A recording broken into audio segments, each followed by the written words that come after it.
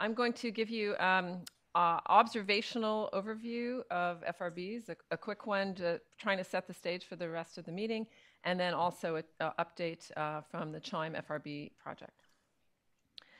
So fast radio bursts, um, as uh, we all know, they're few millisecond long um, bursts of radio waves. The first example, of course, is the uh, now iconic uh, Lorimer burst uh, from 2007, where you can see um, the time uh, on the x-axis and frequency on the y-axis. You see the burst uh, sweep through the band. That's that's some TV station or some interference or something at a fixed radio frequency.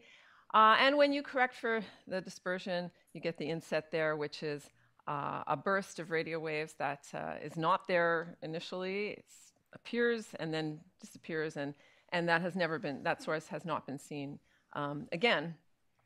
Uh, the dispersion measure, the, the size of that sweep, uh, is, um, uh, tells us that these fast radio bursts are uh, extragalactic because um, the value of the DM is much greater than anything the galaxy could provide. And uh, so generally now we know that the total dispersion measure that you see in that sweep, in that 1 over frequency squared sweep, it, we believe is the sum of um, three, uh, and you could also argue four components, one due to the intervening Milky Way galaxy, and that's the term that doesn't, that, that you can never, uh, defines FRBs in the sense of uh, if um, if your total is greater than that green term over there, then it has to be extragalactic. Uh, uh, and then there's a term from the intergalactic medium, and then there's a term from the host galaxy, which could include the ISM of the host galaxy, um, analogous to what the Milky Way is providing, or it could be from the source, some, something in the immediate environment of the source.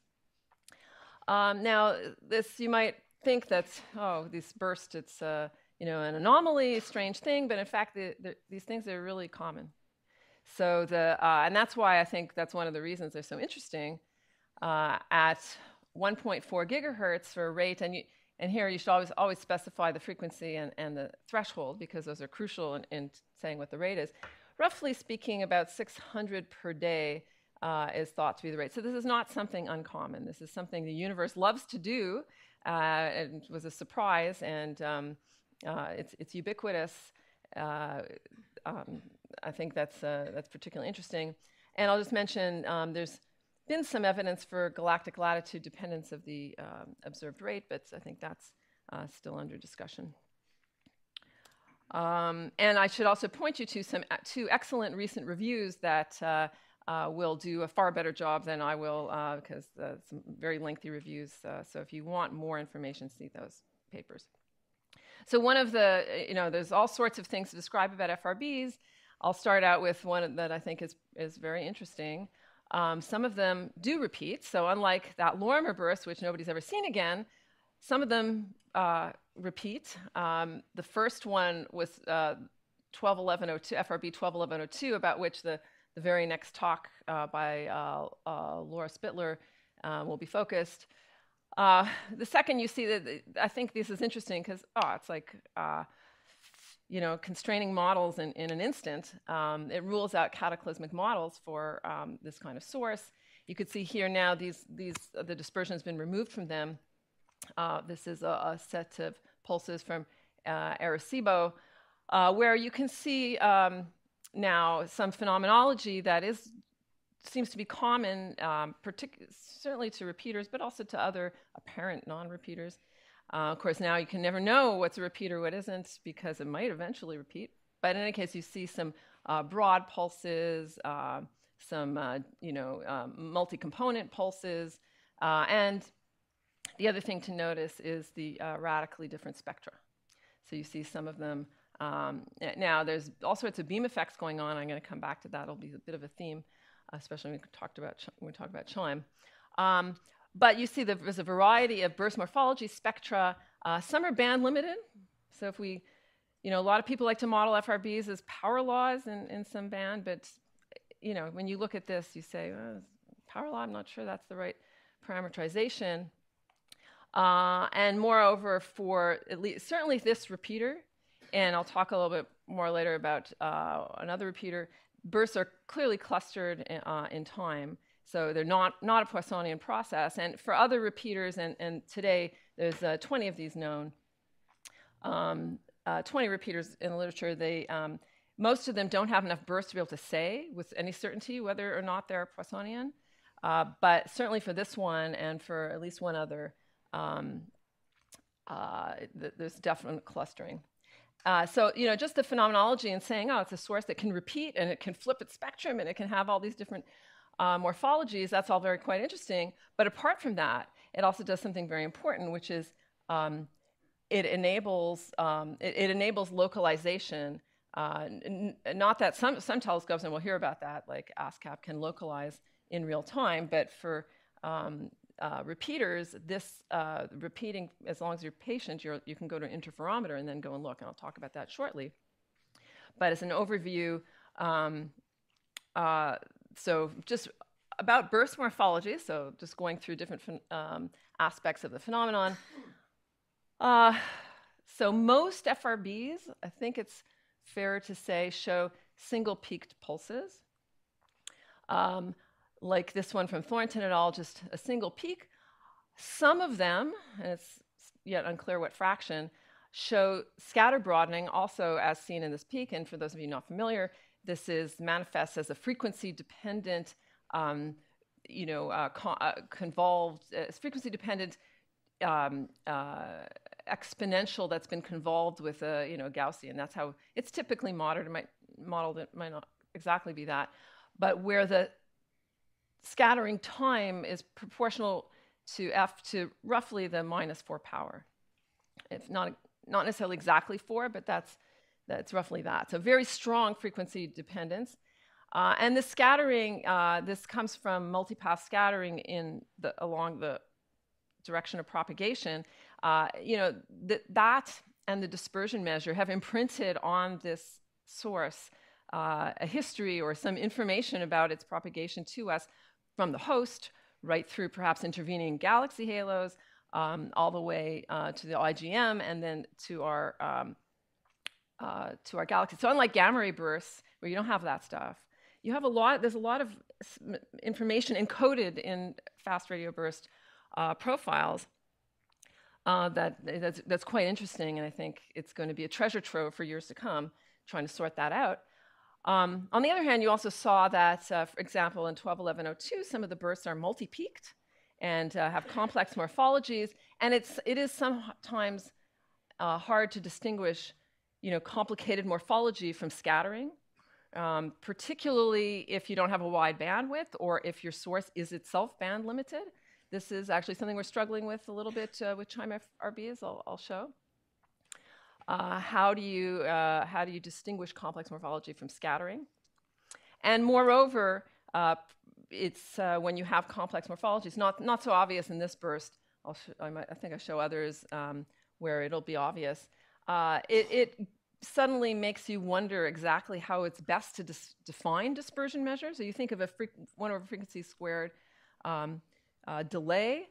Uh, but uh, how do you optimize for that dispersion measure? It's a very interesting problem. You think, oh, just optimize for signal strength. Well, it's not necessarily the right way to do it. Sometimes um, that doesn't work, and, and uh, I'll talk a little bit more about that later. Um, FRB burst properties, uh, spectra. So the Lorimer burst sort of was a little, you know, is truly broadband, and that was over, if you didn't notice, 300 megahertz, a very, you know, no sign of uh, much fading, but uh, others are not. Um, that is, they have these naughty kind of spectra where you see de- definite variations in radio frequency. And notice the different size of the band here. This is from um, UTMOST, where you, uh, the, the band is, uh, is narrower, but nevertheless, you see um, clear variations in the spectra. And on top of it, I showed you the band, some band limited um, events from 121102 um, um, and you know, you can see it even more so in this uh, in another montage of a set of 12, 11, 02 bursts. Uh, I, I, don't want to dwell on it too much because Laura's going to talk about it, but um, in some of these events, you also see the spectra uh, of, sub, uh, of um, uh, of bursts, subbursts that are time ordered, uh, going downward in frequency. And that's the sort of, we, uh, I don't know who coined this, it's brilliant, whoever coined it, the sad trombone morphology. It's like uh, wah, wah, wah. And the, so you see that actually fairly commonly, and we, and I'll show you, we've seen it in, in other repeater bursts.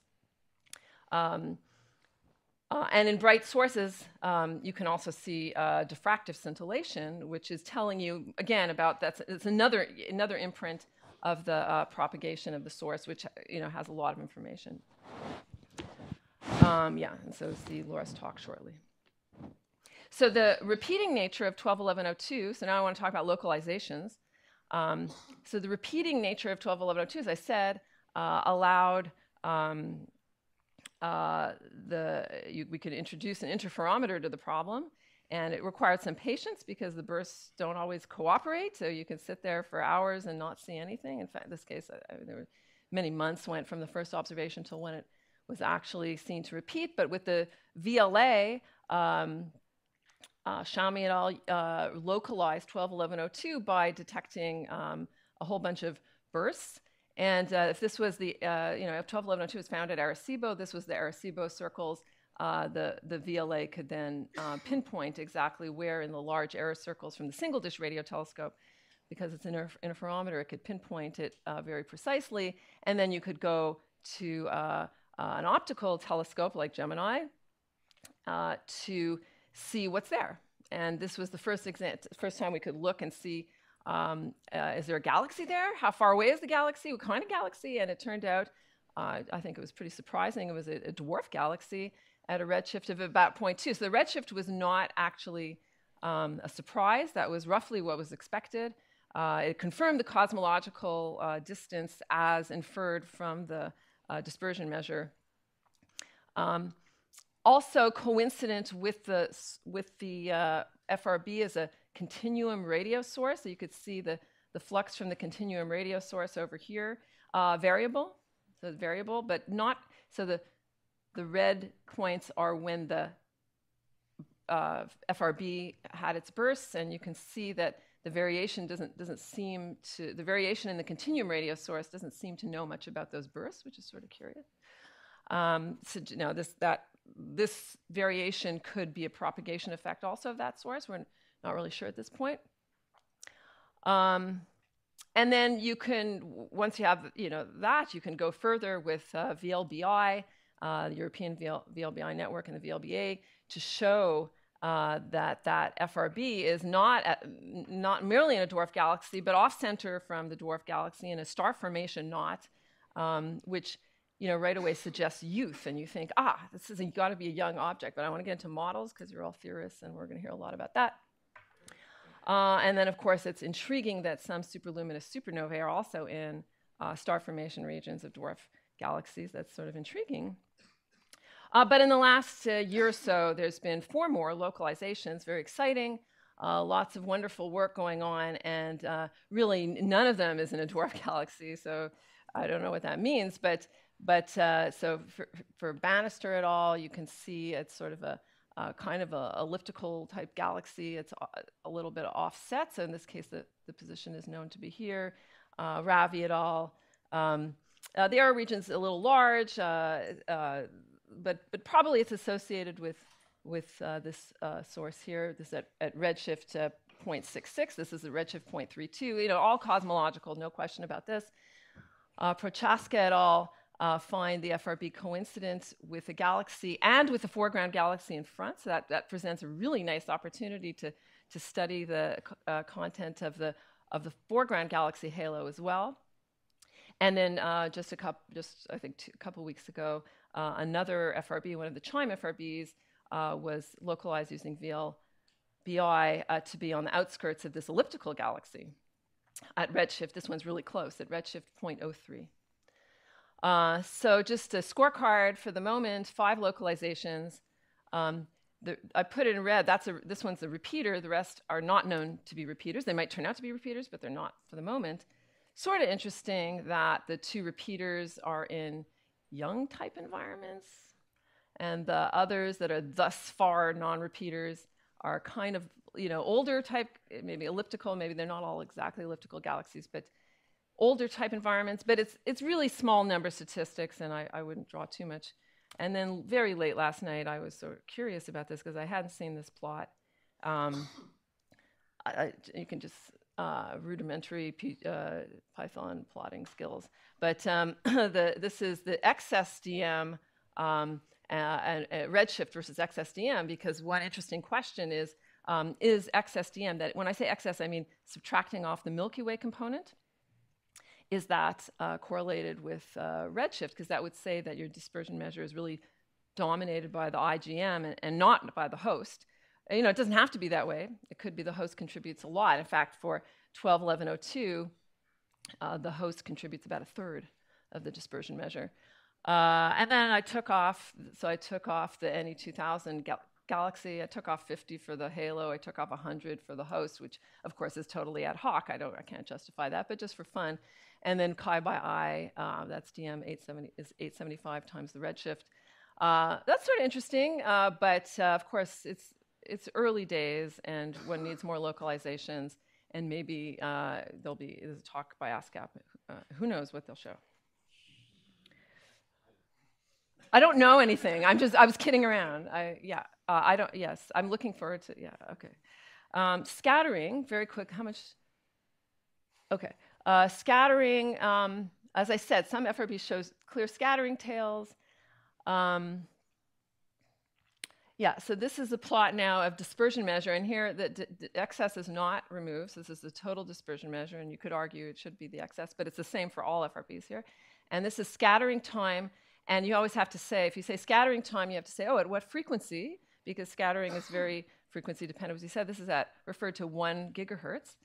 Uh, so the black dots are galactic radio pulsars, where you see a, a, a clear correlation uh, lots of scatter about that correlation. This is log-log plots over many orders, uh, but nevertheless, there, there's a clear correlation.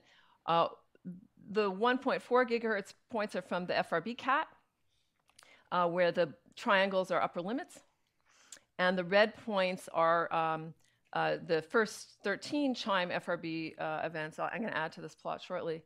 Um, but uh, you can see that you know it, it's not so obvious at the moment what's going on there. It, it may be a hint of a, a, little bit of a correlation, which you, you might expect uh, if you know going through if, if the IG, if the uh, DM is IGM dominated, you go through a lot of halos. Uh, you might and halos cause scattering.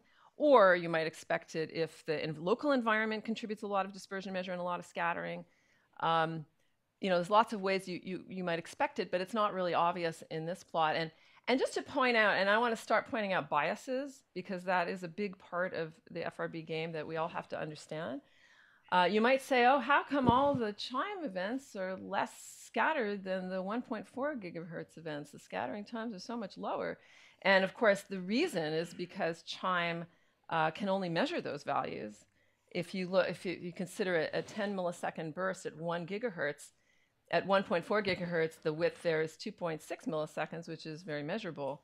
But in the chime band, it's 77 milliseconds, which we would have a very hard time detecting. We, we could, if it was bright, we'd find it, but um, there's a huge bias against finding. Uh, so, so events like these over here, we're not going to see with chime, or we'll have a harder time. So there's a huge amount of bias in this plot that's very important to understand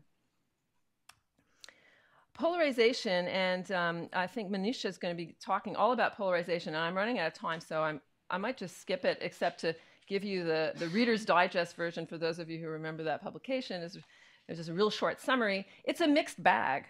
Um, of the 109 reported FRBs in the catalog, 11 have reported rotation measures. Um, 11 and not the same ones, which puzzles me. But anyway, 11 have reported percent linear polarizations, and I've given you the ranges. You know, they range from 0 to 200, with one exception, as I'll say in a second, and then from 0 to 100 in terms of polarization. Some are not at all polarized, some are 100% polarized, some show circular polarization, many show no polarization. Uh, many of the rotation measures are consistent with the Milky Way values, some are a little higher, uh, but one is definitely not. Uh, and uh, I guess Laura's going to talk about it. I'm running out of time, but um, uh, that's about uh, 10 to the 5 for the repeating uh, FRB 121102. Shocking value, uh, among the highest rotation measures ever measured for an astronomical source. And once corrected, you can see all sorts of very fine features at 30 microseconds. Um, if it's generic, then some of the unpol if it's such a high rotation measure are generic, then some of the unpolarized FRBs might merely be depolarized, like uh, perhaps the, uh, the, the, channel bandwidth was too large to detect such a high rotation measure.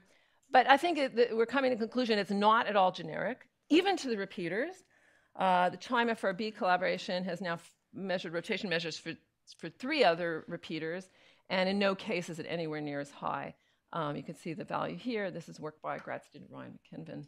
Um, so 121102 seems so far to be unusual. I'm going to skip that. Uh, okay, so I was supposed to spend half my time on a review and half my time on CHIME, so i am running out of time. So CHIME is a radio telescope in Penticton, British Columbia, made of four uh, stationary cylinders that are 20 meters by 100 meters. So an area of five hockey arenas in Canadian units. Uh, it's a transit telescope that is oriented north-south, so the sky rotates overhead, and on each of these cylindrical axes is 256 dual polarized, dual linear polarization antennas that uh, are all combined and put into a massive correlator that is sitting in these large uh, shipping containers that are over here, and the FRB searching is done in that shipping container.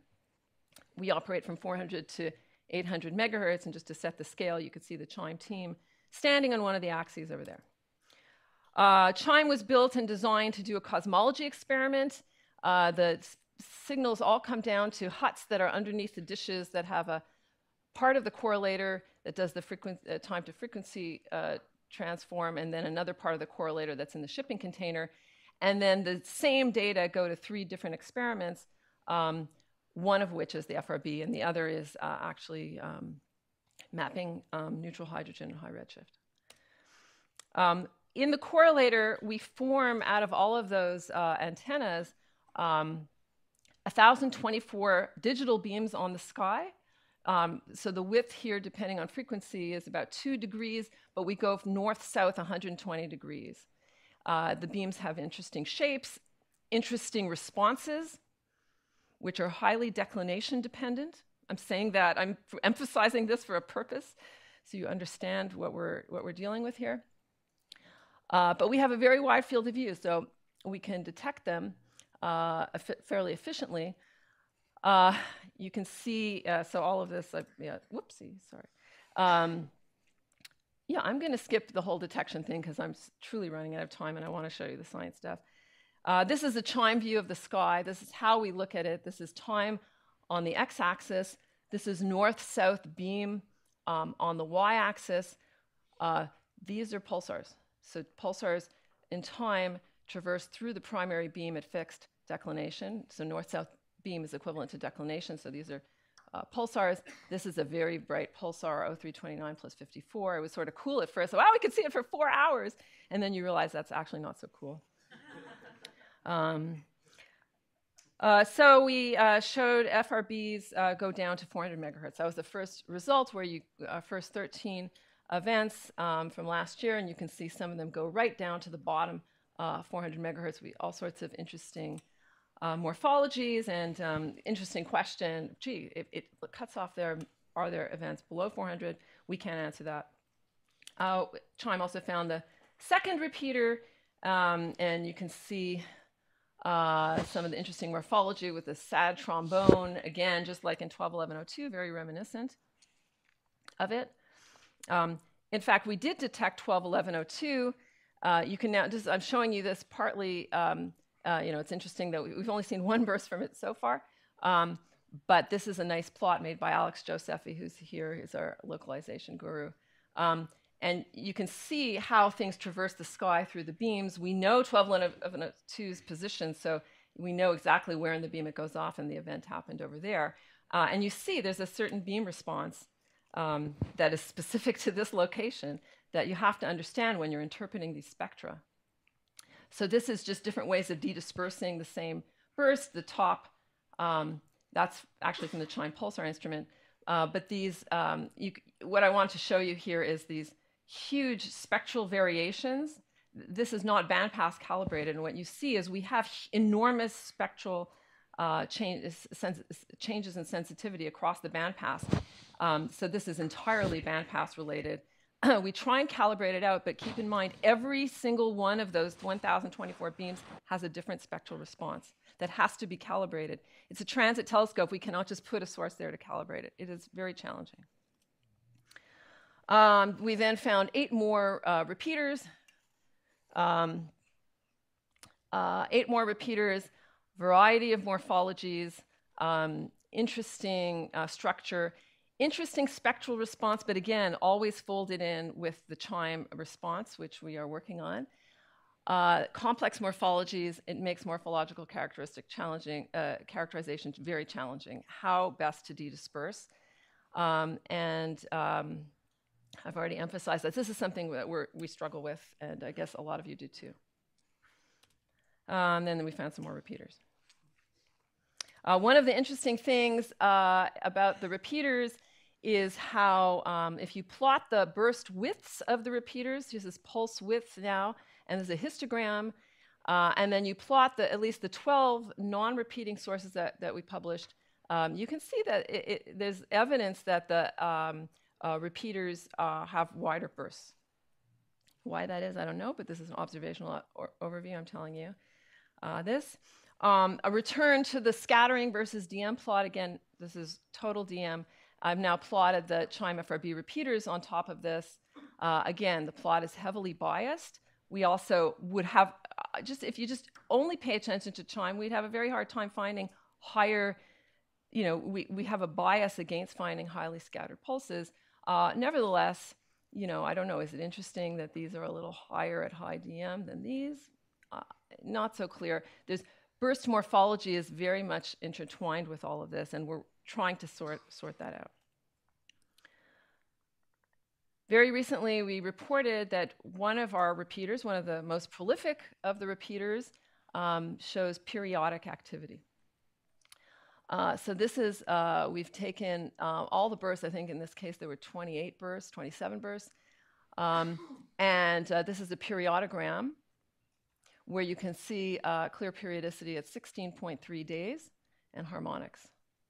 Uh, we have checked to verify that the source exposure does not contribute to this. This is if you take random events that suffered the same exposure as this source, uh, and also a pulsar nearby on the sky. Uh, radio pulsar does not show any of these, and there's other pulsars at all. nothing else shows this periodicity, only the source. And this plot is a very nice one where you can see in black all of the exposure that we had to it. Very nice plot by Pragya, who's, I don't know where Prague is, there's Pragya a beautiful plot because it just shows you we have tons of exposure here, but we only ever see the burster uh, every 16 days. Now, some cycles we do have some exposure. That's not a good example. Here's a good example. We have excellent exposure, but no bursts. So it's not there at every cycle, but it only appears within this four day window.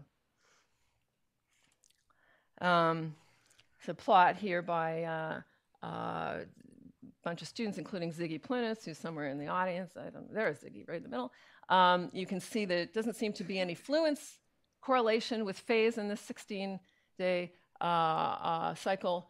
Uh, the dispersion measure, uh, if you look at the red points, those are the most important ones. They're from baseband data where we um, can measure it really well, very, you know, very constant as far as we can tell.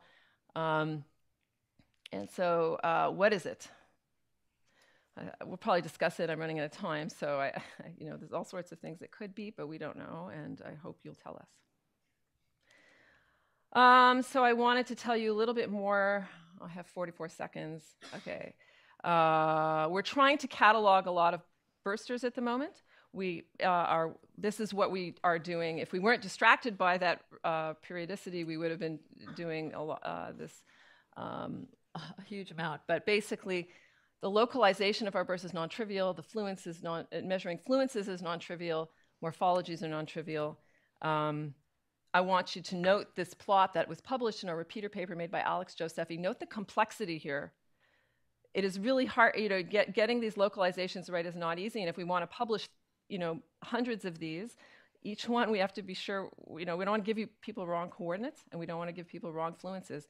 Essential to publishing is getting this stuff right, and we are working on it. And I want to show you very quickly one CHIME FRB out of hundreds and uh, three different views. In one beam, broadband, in one beam, narrowband. It's the same event seen in these three different, and, and in one beam, oh, it just sneaks in a, a little bit there. So if this event had happened like over here, we would only see this view of it. That's sobering. There's a lot of information encoded here. We have to know each, each beam of 1,024 beams very precisely. This is non-trivial work, and we are working hard trying to get this done for the community to tell you. But let me give you a few things that I can show you with certainty. Uh, RA Dec plot, they're all over the sky. The red ones are repeaters. Uh, I, I'm, I'm, I'm way, I don't, I lost track of where I am, I'm sorry. Okay, so I will just uh, say our exposure is complex. Pragya is working on that. Uh, we have, okay, we have an upper transit and a lower transit. And uh, I'll show you so, uh, one plot that you probably haven't seen yet is uh, uh, DM dispersion, uh, interesting dispersion, DM dispersion, and um, but it is totally uncorrected, this plot for CHIME FRB detection biases. So you see that it falls off with dispersion measure, but we don't know if this fall off is due to our sensitivity falling off or not. So you shouldn't read too much into this. We, we do have sensitivity out here, absolutely. So it's definitely falling off, but I don't know how fast. Uh, and we are currently determining our bias, biases. We've set up a real-time injection pipeline where we are injecting these things and uh, into the, uh, into the um, uh, real data stream. Okay, conclusions. FRBs are interesting. I don't think I have to tell you that. Uh, but the story is developing rapidly. Like I learned so much just preparing this paper last night, reading all your papers. There's un unbelievable work going on in the community. There's so much more to do. And I will stop there. I'm looking forward to the rest of the workshop. Thank you.